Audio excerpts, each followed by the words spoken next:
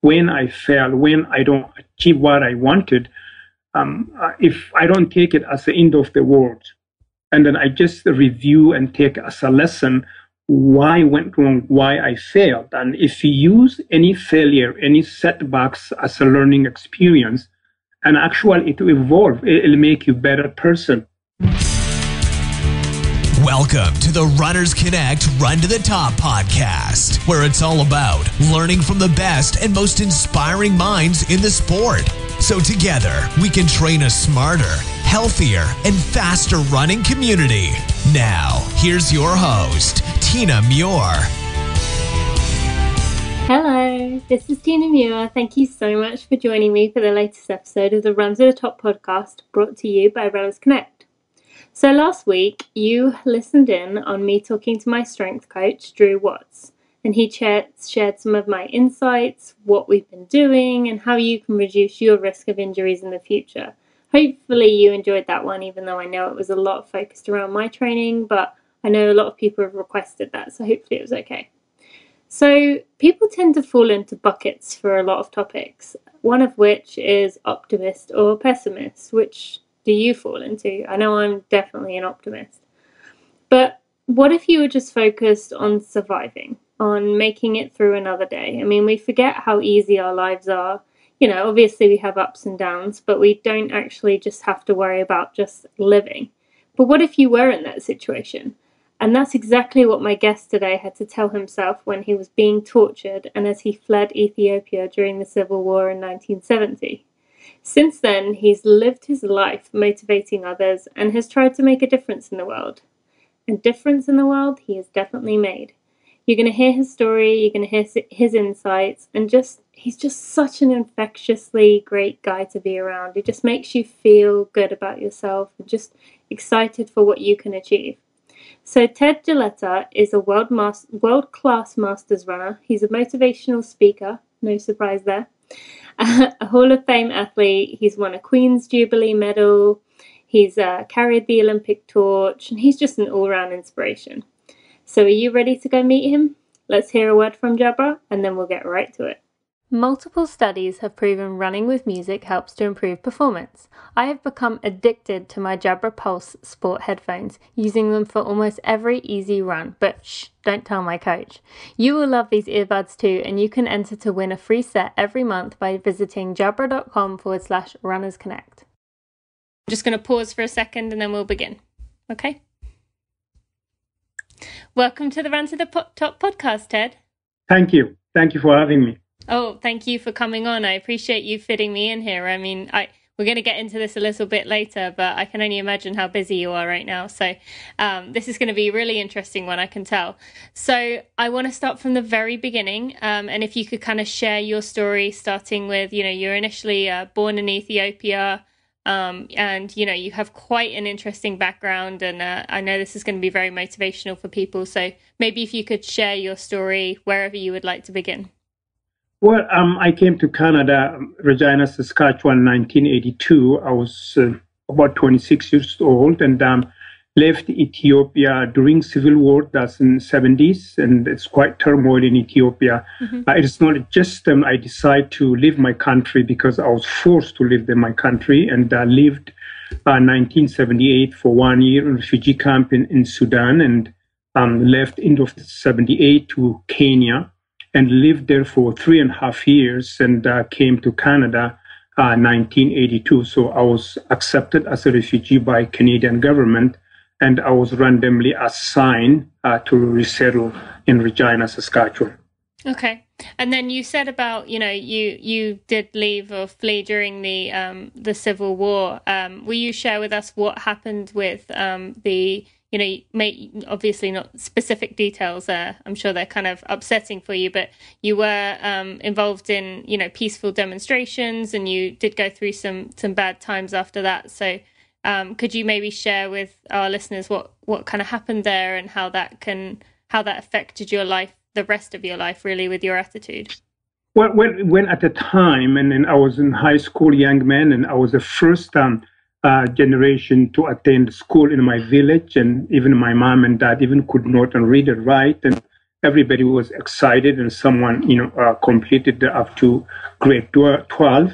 And uh, my running is, of course, and suddenly I was discovered, become a good runner, and life was just good. And mm-hmm. and I was set, you know, to go to university and also part of the Ethiopian elite team. And, and running is, you know, huge in Ethiopia. Yeah.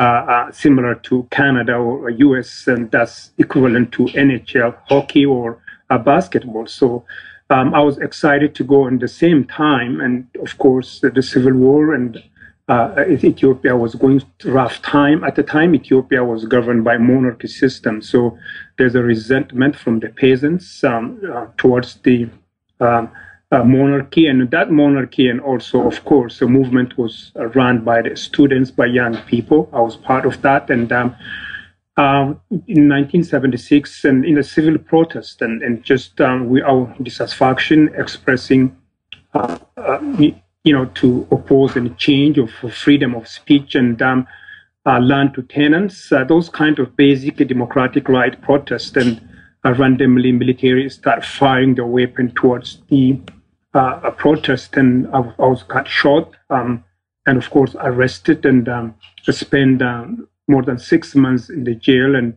and I was luckily again um, managed to escape through riot, and and and from then, and um, of course, and I spent walking several days to get to my village where my family were. Yeah. And that's 1976 and 1976, 78, part of 78. Um, I was hiding, and finally, when they find out that I was hiding, and of course the militia was um, uh, just heading to our, our village, and that's close to Sudanese border. I managed to escape, and when they arrived there, and of course they burned and everything, grain beans, and my family home was burned, torched down, and they have to run away and uh, to restart the life again. So, um, and for me, I could not go back to Ethiopia, and I just. Mm-hmm ran away and I was a young man and uh, unknown future and, and, became homeless and, and struggled for many years and came to Canada and thanks Canada and they gave me a second chance and to uh, rebuild my life here, of course. And I have to work very hard and just to recover those uh, lost years and went back to school and uh, made my life here. And I have two boys and beautiful wife and um, I can't complain. Life is good. Oh well, I'm glad it has ended ended well, and you've kind of you know turned things around. And when you did uh, initially move to Canada, was it on your own, or were you with your family at the time? No, I just me. Even my family didn't know. Even in Canada at the time, we were unable to communicate uh, because of wow. the system was so um, you know. Uh, it's very hard to connect um, with the family. That time communication is not used to be yeah. that 30 years ago, maybe you weren't born. That's totally different world that time. And uh, simplest long, long distance calls was so expensive. But uh, even my mom and dad, they, they didn't know. Even I was in Canada in um, 19, um, I think the first time unable to have a connect with them about nine, I was 82, I came. So 1989, 87, wow. that area, first town, actually they knew I was, I was alive. They thought I was dead. So um, that's a different story. But when first I arrived Canada, um, I was by myself in a way advantageous. Actually, I didn't have any child and young. I was mm-hmm. young and um, able to, you know, live in a very simple life and to upgrade my education and, um, uh, you know, make sure and everything is right for myself before I had family. So that that in a way is advantageous. Yes, it was uh, by myself and. Uh, it was very tough and to immerse in, in language and social norms and imagine Canada was very cold and, mm-hmm. and even those simplest things was very hard to um, adapt. But you know, worked hard and um, took me many, at least 15 years to feel even comfortable. And wow. in the same time, I went my went my running. Running actually helped me uh, who I am today. So that simple run that helped me to immerse quicker. Mm-hmm. And during that that time, I mean, obviously you wouldn't have been able to run while you were kind of in hiding and, you know, while all that was going on, I, am guessing that running was completely pushed out of the picture. Um, did it take you a while to, um, you know, even try it again? Or was it something that as soon as you moved to Canada, you, it kind of brought you some comfort and like reminded you of something that brought you joy when you were at home? Uh, yes, uh, at that time, and you know, you know, basic even, you know, thing, food, you know, what you have for breakfast and what for lunch. That's that's my worry. That time, I thought my running was over, and uh, sometimes just sit and dream about it, and uh, so. Um, that time, absolutely, you are right. The running was just done, and I also also picked up smoking when I was there. wow! Talk about the other extreme. it is that just to relieve the stress, and um, I came to Canada, and you know, we when we arrived, I didn't have I didn't know anyone, so um, there are few um, refugees and from Eastern Bloc and escaping from the communist persecution, and also uh, I'm sure you can recall and maybe read it, and um, Vietnam does a boat people are arriving the same time, and we have a commenting together, and every Sunday get together just for coffee and just you know talk about the conceivable negative thing happens and challenges we are facing, and uh, you know sometimes the resistance, um, you know, to acceptance by local people. That's understandable, and and and I would just you know get tired of that. Actually, you know, mm-hmm. you know that I needed some different thing, and uh, 19, around 1984, and just have we have a big park in Regina called Wascana Park, and sit there and smoking, and I see the people running by, just jogging noon hours hey, you know what? And I just, actually I could just take my running and that's I'm good at it. And I remember throwing in my pocket of cigarette. Mm-hmm. I just stopped uh, one of gentlemen running. I stopped and I said, I'm a member of YMCA. Why don't you come and see me? So I went there and um, met him and um, we started jogging together and and and, um, and you know I just told my uh, running background, and I told him the time I ran, he was just, I'm lying with with this, you know. And so anyway, um, I just, I wanted actually to connect with them and uh, uh, began running and joined YMCA. Um, um, we went, you know, 10K running. Uh, I remember 1984, and I didn't have much training, and I was running close to 30 minutes or faster that time. Mm-hmm. Uh, you know, I just lined up always. I knew I was a front runner, and I just then went up and running. And after 100 meters, I was just gasping, and. I ended up running 46 minutes. I remember that, and I said, "Oh my God!" And that was in May, and around September, I just keep running, and again another race, and actually end up running 37 minutes. Wow!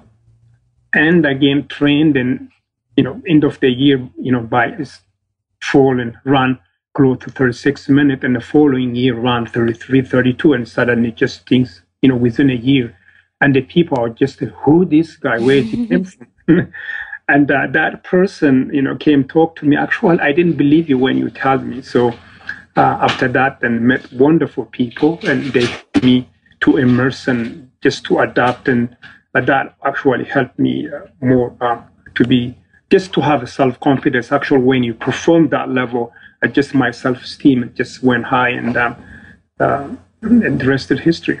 Yeah, wow, that's yeah. that's very interesting and and just amazing to see. You know, you said uh, of how how high of a level you were at in Ethiopia, and you know the fact that you were able, your ego was kind of allowing you to run a forty six minute ten k and you didn't let that kind of be like okay i'm i'm done with this i don't want to do this again like you allowed yourself to kind of keep chasing those improvements and i think it's good for people to hear that and just out of curiosity what what kind of times were you running maybe you didn't have official but what kind of times were you running when you were were in ethiopia? In ethiopia you know i, I was you know, right in Ethiopia, and high altitude, if you run 30 minutes, if you go to Europe sea level, that's an equivalent to uh, maybe eight half and maybe in high 27s and that's what it is. And i was running barely a little bit under uh, 30 minutes wow. or close to 30 minutes. I was a junior at that time. So i was i was 17 18 years old i was running that um, when it was 19 20s because of war of course uh, mm-hmm. uh, my my dreams were faded away and so uh, i never i never um, unable to uh, to see more uh, that um, high level of training and I would have run well. And so um, when I came to Canada, um, you know, I start running 20, when I was about 29, about 30 years old. And so uh, by the middle of 30, I was running, you know, under 30. So mm-hmm. uh, just even, and even when I was 42, uh, in my early middle 40s, I was running half marathon about hour and five. So, wow. Uh, you know, someone at the master running that time, uh, imagine when you are early 20s or uh, when you were teen, if you properly trained and uh, imagine things you are able to run. Yeah, yeah. And I think, yeah, we are going to go on to talk about your master's career, which, you know, has uh, brings on its whole new hmm. set of um, inspiration and uh, accomplishments that you achieved. But um, when you, you know, you said that running kind of brought you this peace and it was very um, comforting to you. But what is it um, about running specifically that you just really enjoy and always have enjoyed? Well, running is uh, to me, you know, when we when you have stress, um, as you know, solo when you run, that's why I reflect everything and think about your family and what I'm going to be doing, and um, um, even uh, during uh, the process of writing my biography, and that's the time I just used to run. Um, run carry with a recording device, and, and just that's where a just clear picture of the piece when I ran by myself my long run and mm-hmm. just mumble and just point the things came to my mind. That's the time, and it just gave me uh, freedom and just uh, to float and to run and and sometimes even going back when I was a little boy in Africa running barefoot and just reflect those kind of things. Mm-hmm. And and absolutely, and I, I I'm sure that brings back some you know positive memories for you of like a an earlier time, but a great time for you, and that that's great. And you did mention you had your autobiography, so let's uh, before we move on, let's talk a little bit about that. Do you want to um do you want to tell us a bit about what you know why you decided to share your story and um you know how it how that came together? I, before the biography and uh, because of the sport and I get often invited to speak in the school and mm-hmm. public places and um, um, usually during my speaking I just show some of the you know things I went through why I came to Canada about the war and, and some of the struggle and being in prison tortured and those kind of things and just that people more get interested why and I was approached by publishing and I said uh, no probably not it, it was hard um, and also, uh, you know, not me, actually, about my family as well. Yeah. Well, I, I would imagine that would be the case, and especially if it was, you know, you were away from them for that that long, that would be that would bring up lots of very traumatic things and you know that's very brave of you to to share it with us. And you know you have become a motivational speaker you know um, all over the world. And um, and yeah um, so let's talk about your master's career. You were ranked seventh in the world by runners world in 1997 uh, as a master. Um, but do you think that those struggles you did go through did they give you an extra motivation to be successful? Did it give you an extra level to dig down because you know what you'd been through, or was it always just you know you you always had that from the very very beginning? I, I always I loved competing, and in the same time, and um, you know, uh, I just um, when I turned and just absolutely you know a struggle uh, I went through, as you said, give me motivation to do, and the same time, mm-hmm. um, still I run, and and that's within me, and and even in, if every day I run here, unless and family uh, issue holds me back. And um, yes, and, and enjoyed, and, and, and, you know, people met wonderful people, even mm-hmm. uh, like Rob de Castella, Steve Jones, you know, the, the British marathon yep. you know who he is? Yep. Actually, him I and I shared the room actually in Tampa uh, when we went running, and then even uh, people I looked up, in they are my age, and uh, you know, I, I, used to watch them and run and um, you know, I would be running with them, but at the end, um, end up running against them during the master, my master career. Uh, travel all over places and, and uh, brought, you know, a lot of just, I would say, unfinished business in my mind. And mm-hmm. the one, you know, I didn't get a chance uh, to perform that level in my early uh, prime years. Yeah, yeah, and and you know you you went on to do so much, and I love hearing that you you traveled the world. What was your what was your favorite place you visited? Just out of curiosity. You know, the most of my favorite actually have been in New Orleans, and my most my favorite Falmouth in the Massachusetts, but just the coast of uh, Martha's Vineyard. Mm-hmm. Uh, they call Falmouth the seven seven mile run, and I was invited. I'm doing that race this year. Is that right? Mm-hmm. Is the first time? Yeah. Oh, that's beautiful, which is mm-hmm. gorgeous place. And I do have my friends and, and, and I stay with them. Even here, you know, we, we, are thinking even we may go visit there my, with my family. And uh, that's uh, one of my favorite places. And um, um, um, so um, that's another one, and New Orleans, and, and, and a few places, and I've run, went, and so Tampa, and just you name it, and just absolutely gorgeous place in the US. So um, I enjoy doing that. Yeah. Mm-hmm. Every place has its own unique thing, which I love. So then you I, I can't even begin to list all the awards you've won, you know, Hall of Fame, Queen, Queen's Jubilee, you've won all kinds of awards, but one that really caught my eye, well, I don't know if it's so much an award, but you did carry the Olympic torch. So um, could you maybe share with us uh, about that moment and what it meant to you? Uh, the, yes, the Olympic torches. actually, I felt like I, I was, um, you know, the one opportunity I missed to be, I would have gone I was, I was confident I would have gone 1980 Olympics if I have a chance. Mm-hmm. And for me, um, uh, that's uh, when I was actually carrying torch, and, and, and that that's I, I, you know that to relieve that you know missed opportunity. And then I was so uh, delighted, and I felt like and have an opportunity actually to.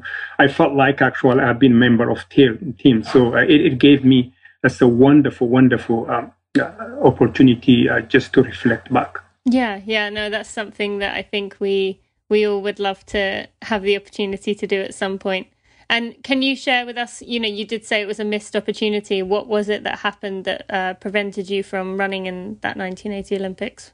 Oh, 1980, and, and I was a part of the groom to be, you know, high high caliber um, Olympian. Mm-hmm. Um, and when war broke out, I was away. I was. Oh, that I was, was, during. The, okay, yeah, that was of course yeah. during that time. And then by the time you kind of got going again, it was it was a little bit too late for like to run. Yeah, uh, to run, and I was okay. refugee camp, and all my 20s was I was I was I was looking place to reestablish. I was in Canada.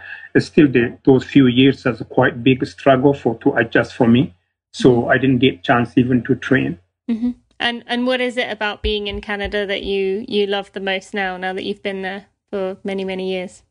in Canada, I, I, just you know I was so grateful, and they gave me a second chance to, to you know to establish myself and to mm-hmm. have a home, and I was stateless, and and and, and you know to have an opportunity to to give a shot um, mm-hmm. at life and at, at general, not only um, you know, awards and honorary doctor of law degree and, yeah. and you know, uh, all those things. But um, as be productive member and very active and well respected in the community and in the position, even, you know, to empower and to give back to community. Even the last 20 years, mm-hmm. I do have a sort of foundation. I raised uh, close to 700,000 for local wow. charity, uh, including uh, building a school in Africa. That's amazing. Oh, what, what a way to give back. And and did you kind of know once you was it as soon as you moved to Canada or as soon as you kind of fled Ethiopia that you wanted to do your part to make a difference in the world? I mean, we're going to go on in a minute to some of the things you've done uh, recently with that, but did you kind of always feel like you wanted to be a leader and someone who made a difference? Well, it, that kind of leadership, actually, I, I credited my mother. She's the one instilled at my early age, and she was a community leader in the mm-hmm. village. Oh. So at that, and um, and also being a student council leader when I was in high school, and I do have that desire.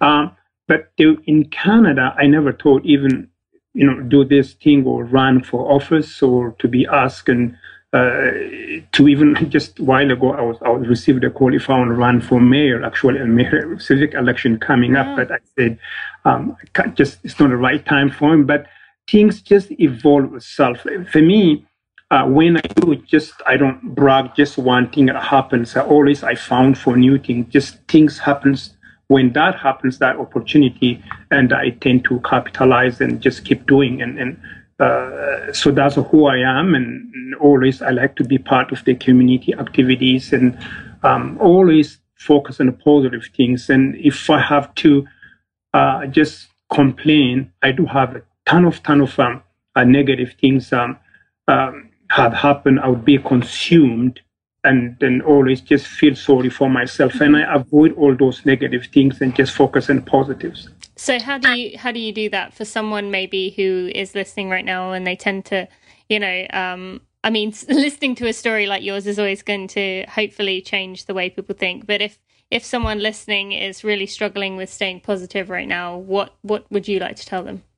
Well, well in a way, um, you know, always um, the life as whole, and it's not smooth. It just has to be a bump, and some of those bump when you, to me, when I fail, when I don't achieve what I wanted, um, if I don't take it as the end of the world, and then I just review and take as a lesson why I went wrong, why I failed. And if you use any failure, any setbacks as a learning experience, and actually it will evolve, it'll make you better person. Um, it's, it's not, you know, uh, if everything is so smooth, me anyway, personally, in my opinion, some people may think this is weird, but um, it's actually make you a better person. Mm-hmm. And, and, and even we have a setback, and even if you lack some sort of being compassion to others, and it'll make you think about that why and I should that if even health issues and financial setbacks and bankruptcy and all all those things and to me if it's just why that happened and you have to be responsible whatever happens to you. Everybody uh, have choices to make and then also uh, you have a right choices also to make a decision to make that change. And for me i just take as a lesson and learn about that and just carry on. Um, um, and just focus why the good things happen to you. So would you say you do you do do a lot of analysis then when when something does go wrong you kind of look at all the things that could have caused that? Or is it you just kind of let it roll off your back and say okay you know this Dep- is going wrong but this is good that's depending the situation. Mm-hmm. depending the situation and um um uh, um, you know, some just let it go, and some just have to analyze and what went wrong. And there's another, that's the past election, and we lost by, you know, by 144, very close votes. That one we have to analyze and what went wrong, and and again to avoid such a close, you know, loss for next election. And um, and we, we with those kind of bigger scales, as I analyze, but the short ones, not really. No, don't just let it go and that's what it is and move on. Mm-hmm. and just to clarify for people who who you know you and i have talked a bit before but um, so you were recently nominated for the pro legislative assembly of saskatchewan. Uh, but w- what did that involve for people who may not know what that means? It, it's, it's the, the parliamentary system the provincial legislative assembly that's where it's the lawmakers and, and, and the legislators that's why we, we, where you know we make a decision the budgets and um, um, and uh, this governing body of like you know mm-hmm. uh, Canada have ten provinces, and so those ten provinces combine the federal. So uh, so we have a sixty-one um, MLAs. That's a member of the Legislative Assembly. We have a who run. We do have to compete for that seat. So I I, I ran for one of the city uh, seats. So that's where the election was last April. Mm-hmm. And what kind of things did you did you learn during that experience? I mean, I'm guessing that um, you you learned a lot about the world of politics and just kind of how um, you know how you could make a difference in the world. But did you see any um, parallels with running, or was there anything that kind of stood out to you about um, about this process? It, it is similar in a way, the same. But running is we don't have much emotional stress, but this, yes, of course it does. And I learn a lot listening to people. Issues matters for them. And, um, um, you know, for all walks of life. And the issues for, you know, amazing things about politics and what the issue matters for you, but somebody's issues may not be matter for you, especially young mothers and uh, income inequality, people living in poverty and, and seniors, the healthcare, um, education and just listening. That was so incredible, incredible history um, uh, and experience, positive experience I have, and um, you know, just to voice for them. Uh, uh, dealing with such a complex issue, and uh, mm-hmm. the, similarly, the fitness actually came came you know come when we were knocking doors, sometimes for seven eight mm-hmm. hours a day we knock doors. So uh, I remember even the people younger than me, and after two, three hours, they could not do it. And then I just walking nine hours and I get high and uh, just take a break and just keep going. And so, yes, it does help mental toughness, uh, discipline, to listen for others, what they have to say, rather than telling them what's good for them. That was, that was just extraordinary experience.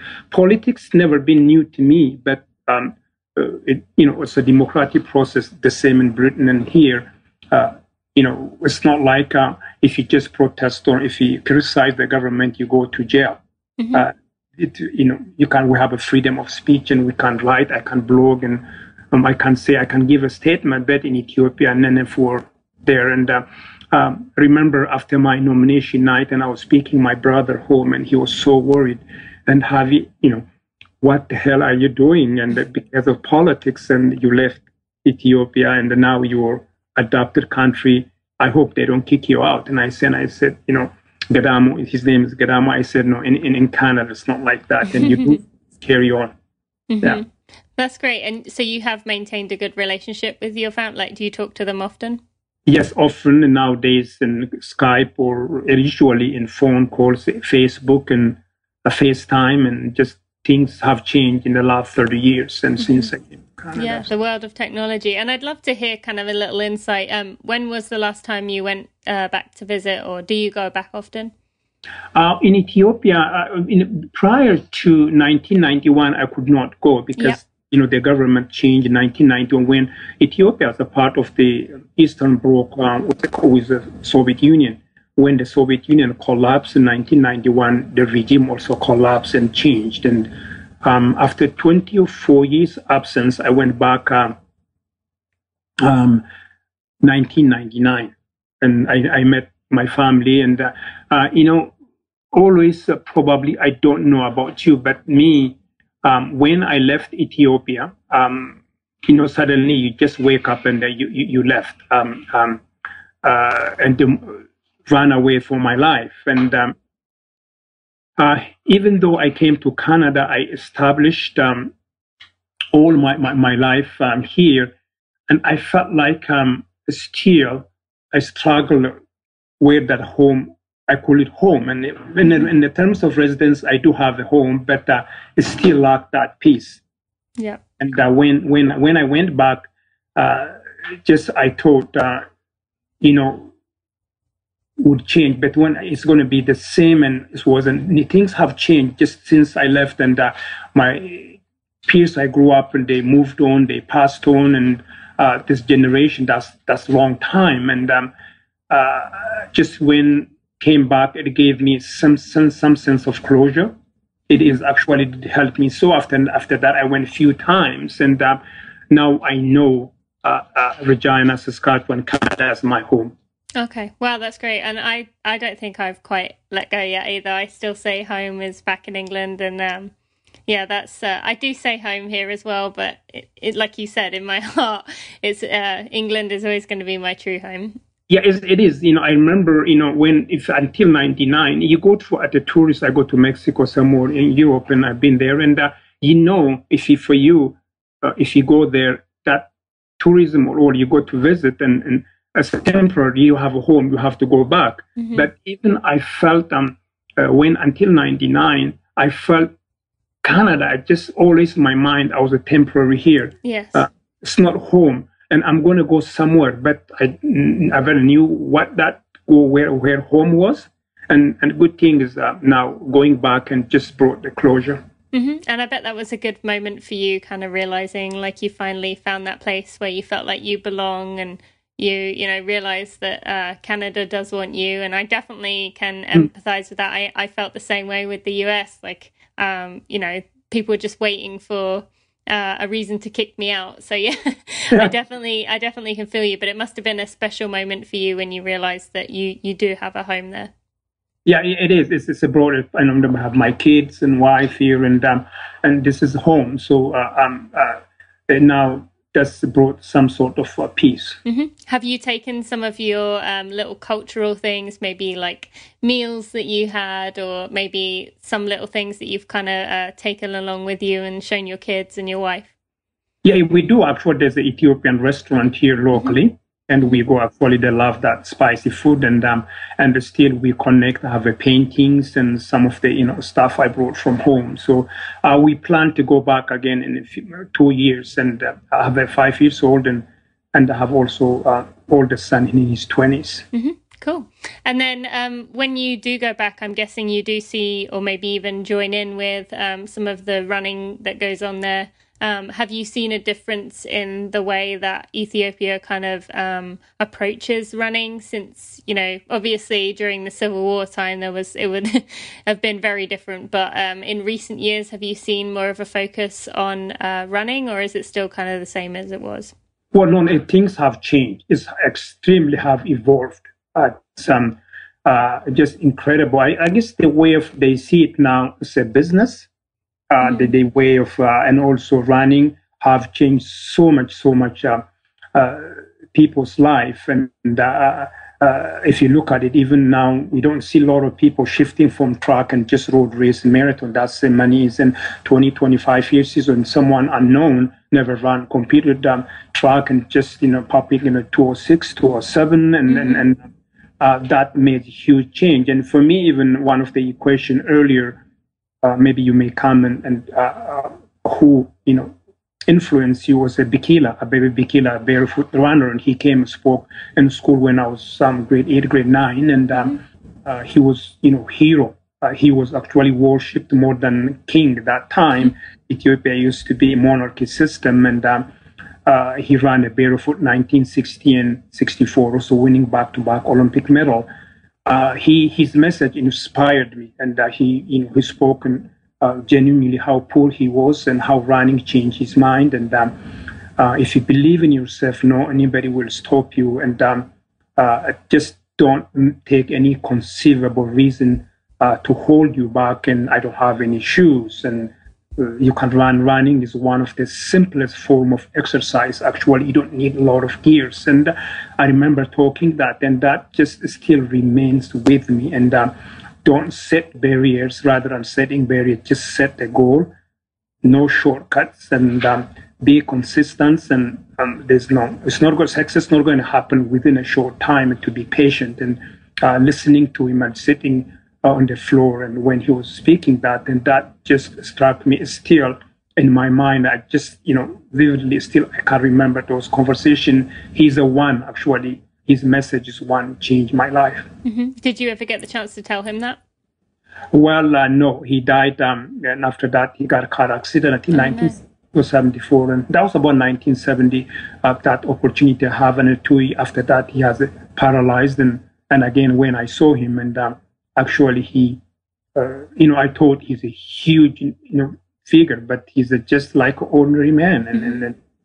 Uh, like a little guy and, and a wheelchair confined, and also that told me as a part of us being human how vulnerable we are. And you know, that's all things can go overnight. Just you, you lost. So uh, he was restricted um, and the wheelchair, and then out in a couple of years, I think he died. Oh wow, wow, yeah. that's that's sad. But um, you know, I'm glad his message was able to stay with you for life. And and you mentioned about vulnerability, which is something that I I talk about often and I kind of very passionate about because I feel like that's not necessarily a weakness in people to show your vulnerability. Um, and you know, I've seen a few things where you kind of think that same thing. So why is it you think we're so afraid to show the vulnerability, and then why do you not not uh, hide from it? Well, I guess that's depending the individuals, and that's I believe that's we are humans, and and you know even though culturally in the boys now not supposed to cry, you don't have as a seen as a weakness more the cultural, and um, uh, to me. Uh, you know that's who we are and if you don't show those weakness if you don't shed the tears and for when you get sad and when you get happy uh, that's who we are, even though we try to deny and mm-hmm. pre- you know, pretend we are no machoism, but we we we possess all those um, uh, qualities and and, and um, uh, personality. And uh, to be uh, me, and even yesterday, actually, I spoke um, um, such a thing in one of the inner schools, and they asked me. Uh, in how we, why you feel comfortable actually sharing so deep personal things and i said well that's where it is, and that's where it was. And and um, uh, for me, I hope someone learns from that and just you know have a message and um, uh, not to miss out. And, and you know, education is very important for me, and my mom taught me.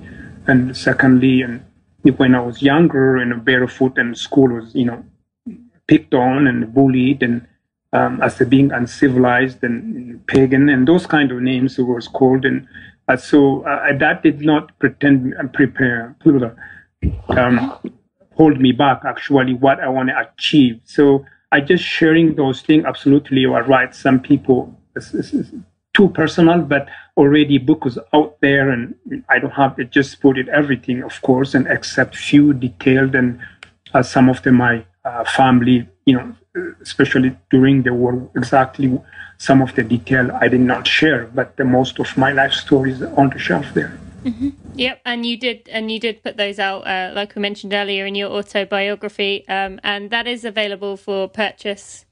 Um, or... Well, it's available. I think now we're out of print, and um, oh. I, I, just we have a few copies, and um, um, now the things have changed since that book was in 2006 and and also actually my life have evolved even for better. Mm-hmm. so we may have to add some of those yeah. things soon and maybe we'll touch if you would like a copy able to mail one. Yeah no i know. We'll put a link to it in the show notes for people to purchase if if they can get a hold of it. Um and that will be at runnersconnect.net forward slash 109 um and then so you know you you've mentioned all these things you've you've achieved and um, you know you you did your honorary uh, doctor of law degree in 2014 you know we've talked about what you've been doing in politics that you were even you know approached about being mayor. And i mean i can't even imagine how much more you can add. But uh, what do you see as your future kind of um, coming to you as of right now?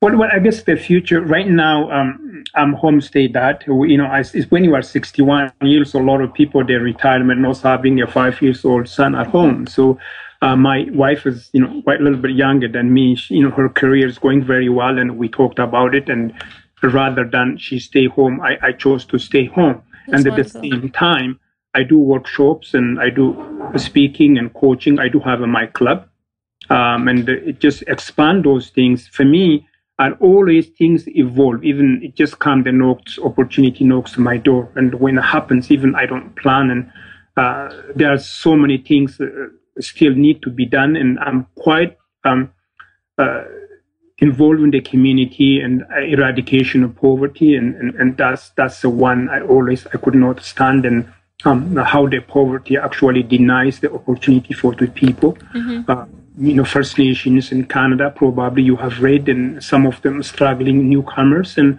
um, I do help them, mentor them. Even uh, there's some people I coached, and they managed to uh, secure the scholarship and um, uh, track a scholarship and uh, and achieve the great career. And so I'm going to keep doing those things. And for me, it's not really retirement. It's not an issue as far as my mind is working and physically still able to do just keep doing those things, um, um, you know, until I could not do them. Otherwise, there's no any time limits. Mm-hmm. I love that you um, that you know don't have these specific. I'm going to do this and I'm going to do that. You kind of allow um, life to unfold as it should, and and I've kind of been working on that a lot recently, and it, it is a, a, a better way to live because um, you know you just let opportunities happen and uh, you know approach them as as they mm-hmm. unfold. And um you know i've always believed that good things happen to good people and you know you are the perfect example of that. So it's it's great to see. And um and then are you still running yourself?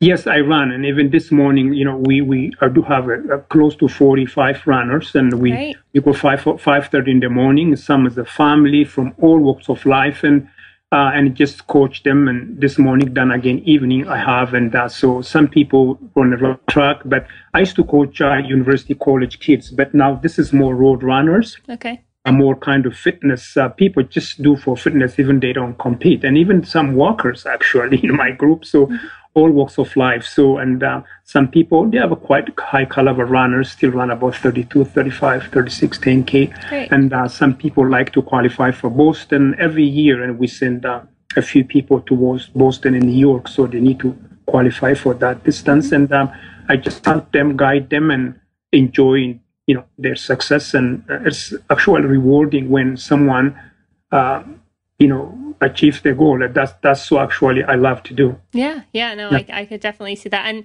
and for someone listening who just happen doesn't happen to know about this group, where could they find more information about it? We, we do we do have a jaletapacers.com if okay. you to visit. I think I have yeah. a two website and uh, tedjaleta.com and jaleta, jaletapacers.com. Okay, I will put links to those in the show notes as well. Okay, yeah. we're just going to pause for a minute just to hear from our sponsor and then we will be back with the final kick round. Okay. Depending on where you are in the world, summer or winter is coming. We only have a few precious weeks of this ideal running weather before the mental battles begin. Music or podcasts can make those long training days much easier, and I love to listen to 90s music to get me through the really tough parts. Jabra Pulse is the wireless sports earbud that was designed with runners in mind. Yes, that means no slipping out of your ear on those hot summer days, especially with the customizable in ear pieces. It even has an accurate in ear heart rate monitor, so you can use that to make sure those easy days stay easy. Yeah, just like you promised. I love mine, and I've run with musical podcasts more in these past few months than I have in the rest of my life combined. That is how great these are.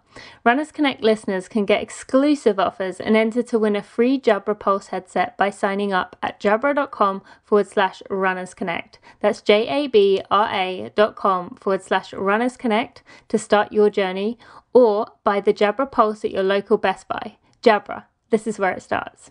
Okay, and we're back. So I just have the final kick questions for you. This is going to be a really interesting one. But uh, what is the greatest greatest advice you've ever received, or is it what we heard earlier? Well, I guess the greatest advice I received of uh, barefoot marathon runner Abebe Bikila when he came and spoke to a school. I was the one of the fortunate enough uh, to attend um, his speaking uh, uh, event, and uh, you know, we first, you know, we hear about him like a hero and that mm-hmm. he's just highly regarded internationally. So I was so eager uh, to hear what he has to say. He was very simple man and uh, um, easily approachable. And, um, uh, you know, his message was uh, no shortcuts. And if you set your mind and uh, if you do the work, anything's possible. He was right. And, um, no shortcuts again again. He repeated that and you have to be patient. Mm-hmm. um, things will happen and and even if you encounter the setbacks and take as a learning rather than at the end of dreams. And i remember he was sharing and um, and also his own upside down and um, and also meeting him uh, after he was paralyzed and how all those things have just changed like a movie and just great and again sad and um, and the, you know suddenly he's gone. So his advice is still, and as an adult, I still just you know um, I do have his quotes actually in my office, so oh. always his great quotes and his pictures on my wall. That's great that you can see that every day, and you yeah. know that's that's just wonderful. Thank you. Yeah. Okay, um, your favorite running book or blog?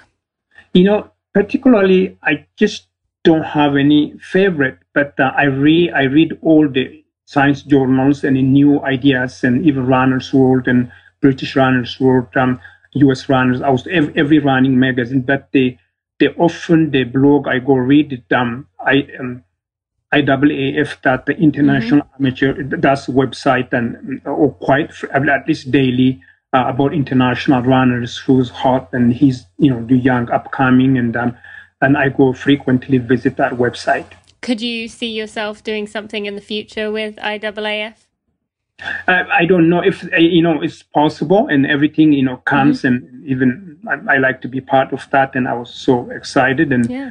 I remember even going meeting in Ethiopia. Those run usually when I go back, I just run with them, and so uh, even when I was competing in my master circuits, and uh, some of those Kenyan African runners, and um, sometimes the, the, the, people take advantage of them because of the language barrier and mm-hmm. you know, quite understand um, uh, some of them end up losing their prize money. I remember uh, when I was competing. So um, even in that capacity, just to advise them, to help them, know anybody takes advantage of those people. That's great that you give them the, that advice, and I'm sure that I just that I haven't always on and off actually get the email from them, advise them, make sure before you sign you understand what you're signing. Mm-hmm. That that's so important, and you know we need more people like you in this world because that's uh, that's obviously an issue that's going on within the world of running. So it's great. Oh, that... absolutely. I'm sure you may have heard that the behind mm-hmm. the scenes we don't hear, and uh, some of the they're winning a lot of pride, but that they don't see penny. That then maybe they take a small portion of it. That's the yeah. It's just wrong. We need to make some changes here. Yeah, this absolutely, is. Uh, yeah. we can work on this together. yeah, thank you. okay, um, what would you like to tell a new runner? It especially comes to real runner, even as a, myself as a coach, my number one advice um, when you take up the sport or running, um, to join a running club Mhm. or someone uh, have uh, some sort of running experience rather than just you know read. There's so many information out there um, system, and in that can cause setback or injury. Um, uh, have someone to guide you. Um, join a club. Uh, be patient and no shortcuts and um, even some people just i'm going to start running marathon right away planning career that distance 42 kilometers. I would suggest advise them for maybe two three years run 5ks 10ks half marathon gradually and get used to your body. And then and, and so you know you want to keep running as a lifestyle rather than just um, run one and have a bad experience quit so uh, i i prefer uh, beginners just to join the club or with someone coaching advice Absolutely, and you know we're we're huge fans of that at Runners Connect. I mean, we have our coaching, um, but you know it is so important um, having that outside opinion to, like you said, prevent injuries and make sure, like you said, it becomes a lifelong thing rather than something you get excited about at the start and then burn out. So thank you. That's I'm glad you mentioned that. Um, what is or was your pre-race meal? Well, another, that's another one. Pre-race, to me, pre pre-race meal. Um, I guess in a way, myth. I don't know what to say. And we we just go doing the carb loading. For me, uh, the day before what you ate, it's not going to make that huge. It's not, it will not create a miracle. Uh, me, um, just eat right. Just eat to train. Uh, fuel your body as an athlete when when when when overall your diets actually one plays very important role for you. So usually day before race what i do uh, you know i have done what works for me uh, have a you know bigger breakfast and bigger lunch but have a lighter uh, meal in supper and and has to be i don't put a lot of um, meat or I don't consume even usually plain pasta or rice. Usually I eat. So in Ethiopia, we grew up with a simple carbohydrate in Africa. That, that's why usually we eat very simple. It does not upset your tummy when you are competing. And make sure there's enough time to digest and, you know, to clear your system, uh, able to perform. If you tummy get upset and if you eat a known meal, you are not helping yourself. So Yeah.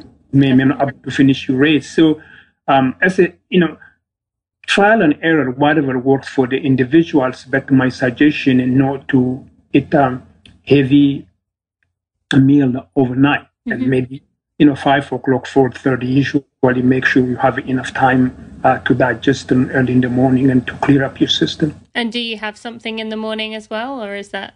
Usually for me, depending what I'm running, it's a 10K, 5K, uh, maybe two hours before have a piece of dry toast and a cup of coffee and uh, water. Uh, That's what usually I do. Um, uh, if I eat too much, just I could not perform. Uh, usually I avoid eating a morning and uh, marathon and and um, the same situation. And even it's not, and I don't eat much. Um, I make sure I have a little bit in my tummy and you know, coffee, of course, I had, I don't know what it is, and, uh, uh, and the dry toast, usually that's what usually I, I eat um, before marathon.